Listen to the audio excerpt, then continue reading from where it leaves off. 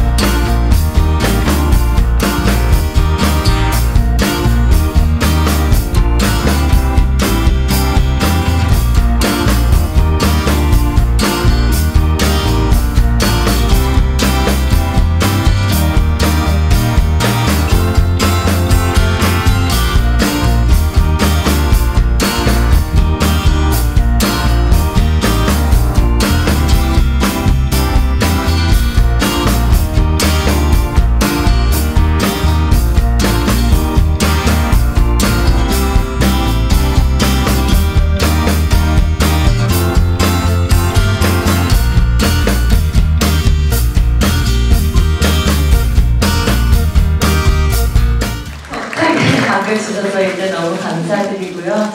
예, 올해가 국세청이 개청한 지 50주년이라고 들었습니다. 이렇게 뜻깊은 해에 모범 납세자로서 그리고 국세청 홍보 대사가 돼서 정말 기쁘게 생각합니다. 오늘 국세청장님은 비롯해 국세청 직원분들께도 너무 감사 인사드리고요. 앞으로도 국세청을 위해서 열심히 널리 알리도록 노력하겠습니다. 감사합니다.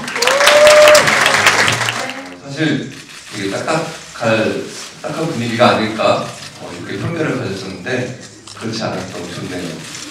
음악 너무 잘 들었고요.